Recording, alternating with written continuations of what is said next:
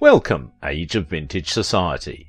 Carroll Baker was popular as both a serious dramatic actress and a blonde bombshell during the 1950s and 60s. Her wavy blonde hair, curvaceous figure, and sex appeal often drew comparison with another sex symbol of her era, Marilyn Monroe. What was between Carroll Baker and James Dean?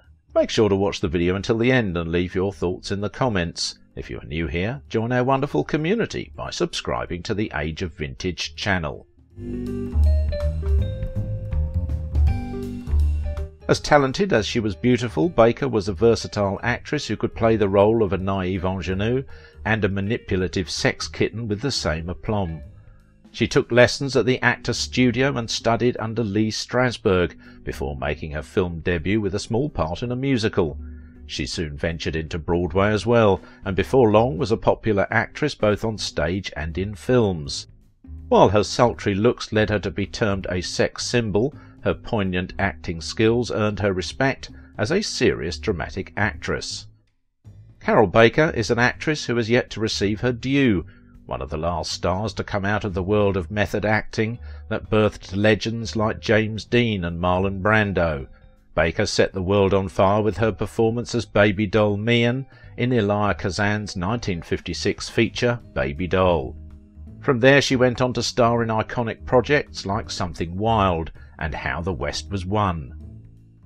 Carroll Baker's work in Elia Kazan's Baby Doll and Jack Garfein's Something Wild is just as impressive and valuable as any performance delivered by her legendary Actors Studio contemporaries. So why isn't she talked about in the same way? After the simultaneous sensation and scandal of Baby Doll, Baker became a star, but she spent most of her career either avoiding sex symbol roles or begrudgingly accepting them. Despite a handful of other great performances, conflicts with studios, producers, and her husband, Garfein, marred her career. One can't help wonder what it would have looked like if she had her druthers. Sexual tensions pervade all of Elia Kazan's complex films, and in Baby Doll they take an ironic, almost comic turn, which didn't prevent an enormous scandal on its release, when the Catholic National Legion of Decency pronounced it salacious, and Cardinal Spellman took the trouble to declare it evil in concept and order abstinence from viewing under pain of sin. There was a considerable hue and cry when the film was released. The Legion of Decency urged Catholics to boycott it, and Baby Doll became Baker's middle name. She tried, unsuccessfully, to fight all the nympho roles thrown at her. I came in at the end of the big studio system, Baker recalled. I still had a slave contract, and they were willing to put you in almost anything they had. Carroll Baker is excellent in the title role of a virgin bride married to aging cotton mill owner Karl Malden, who is locked in hopeless competition with a virile rival, Eli Wallach, for Baby Doll's virginity. Georges Sadoul calls Baby Doll one of Kazan's and Tennessee Williams' best films, and comments that underneath it is a drama of ownership, close to Balzac and Zola, and presents a realistic portrait of the South. The natural sets, the decor, and the objects surrounding the characters play a major role, exceptional performances by Carroll Baker and stage actor Eli Wallach. Even today, the image of Carroll Baker sucking her thumb on the poster for Baby Doll seems a little wrong. In 1956, a billboard was constructed in Times Square advertising the film, where Carroll Baker was depicted in the image of a scantily clad lying in a crib sucking her thumb. This advertising caused a preemptive criticism from religious groups, it was formally condemned by the Roman Catholic Church, who considered it offensive to Christian standards of morality and decency. Despite this, Baby Doll received $51,232 in its first week at Victoria Theatre, and Baker won immense praise for her performance, establishing her as an A-list actress. The controversy hurt the film's box office but brought Baker, who appeared in Giant in the same year, into the limelight. She won the Golden Globe as New Star of the Year in 1957 and for a decade was a sex symbol who shared top billing with some of the biggest male stars. Carroll Baker was born on May 28, 1931 in Johnstown, Pennsylvania to Edith Gertrude and William Watson Baker, who was a travelling salesman. Her parents broke up when Carroll was eight, and she went to live with her mother and younger sister. Her childhood was a difficult one spent in poverty, as her mother struggled as a single parent.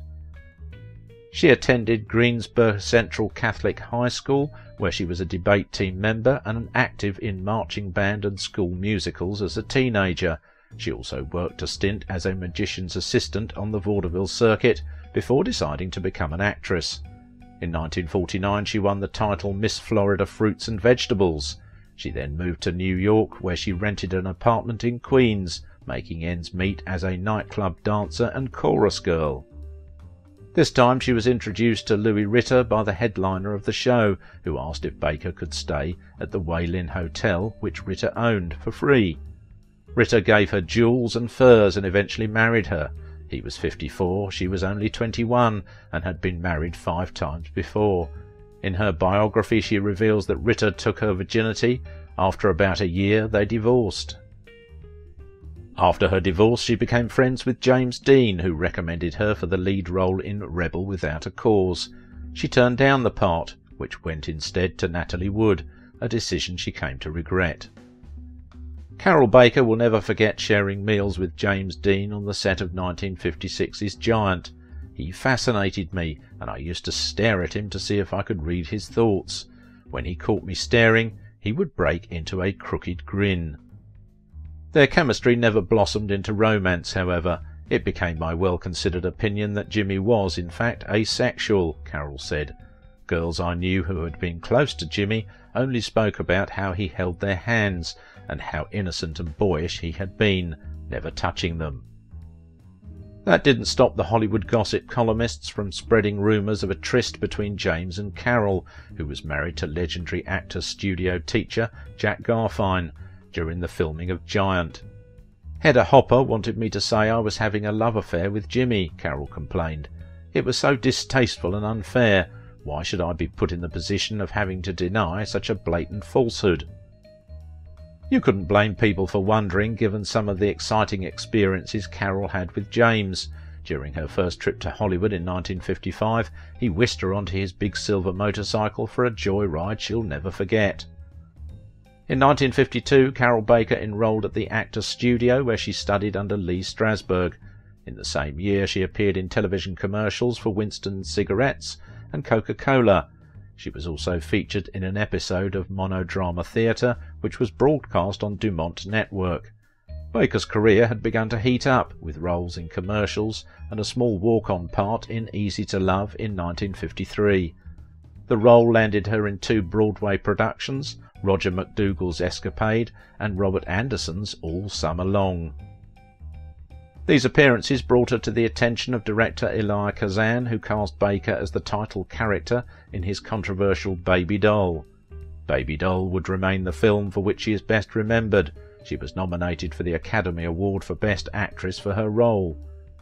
Later, she was also titled Woman of the Year by the Look magazine in 1957 from Harvard University's Hasty Pudding Club and appeared on the cover of Life magazine in June 1956.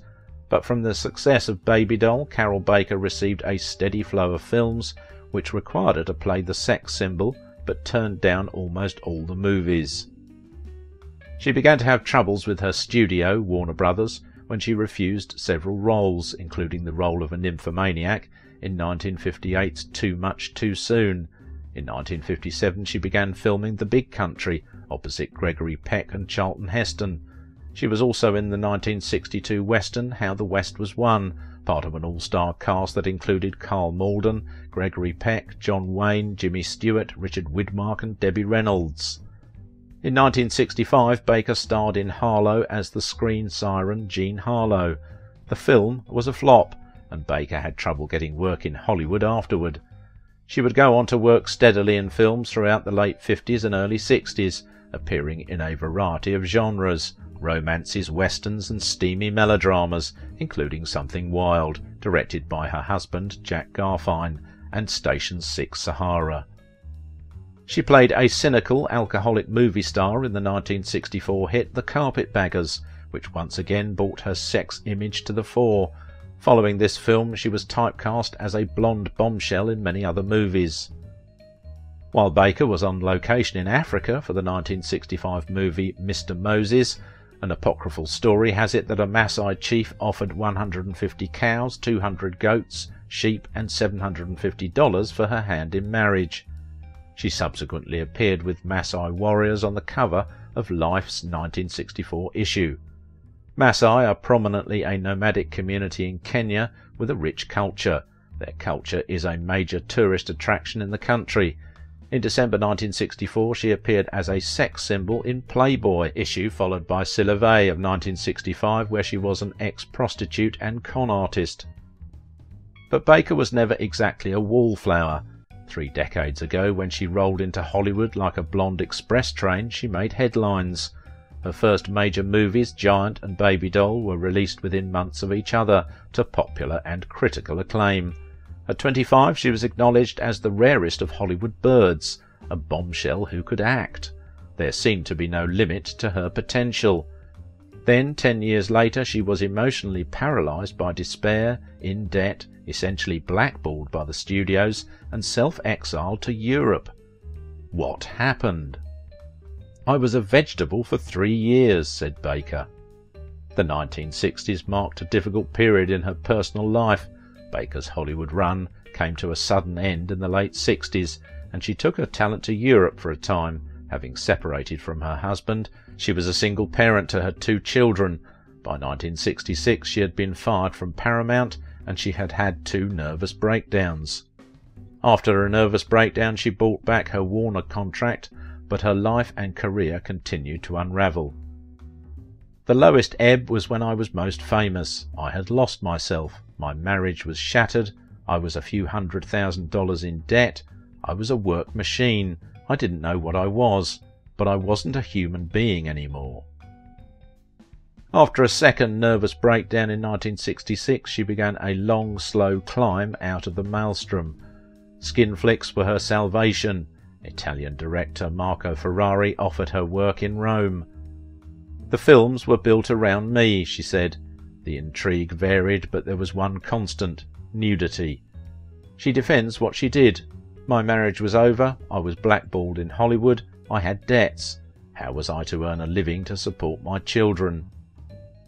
During this time she moved to Italy where she appeared in films such as The Sweet Body of Deborah, The Devil Has Seven Faces, and Baba Yaga. She escaped to Italy where director Marco Ferreri hired her for her harem. She became a favourite of the Italian horror films of Umberto Lenzi, who cast her in Orgasmo and So Sweet, So Perverse, both in 1969. Many of Baker's roles during her European period shared a common element nudity, but she had been blackballed in Hollywood and needed to support her children, so she took the roles. She returned to the western genre, sort of, with Captain Apache, an acid western shot in Spain and directed by an Italian, Gianfranco Parolini. That was definitely not politically correct. Since returning from Italy, she has had roles in a few films, including Kindergarten Cop, and has been a character actor for several television shows. By 1977, she was cast in Andy Warhol's Bad. She played a lead role in A Queen's Beauty Salon Owner.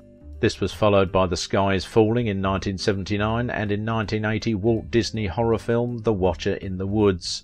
By and large, she produced Red Monarch in 1983, The Secret Diary of Sigmund Freud, and Portrait in Evil. Another of her production was Native Son and Iron Weed in 1987. By 1982 she had married her third husband, British actor Donald Burton. They remained married until he died in 2007. She returned to the US and resumed her acting career in the 80s, and today is an underappreciated icon.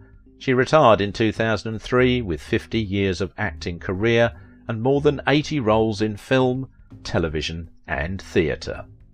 If you liked this video, don't forget to give it a thumbs up, subscribe if you are new here, and if you want to support my work, please visit my Patreon page. Now it is your turn. What do you think about the life and legacy of Carroll Baker? Her poignant acting skills earned her respect as a serious dramatic actress.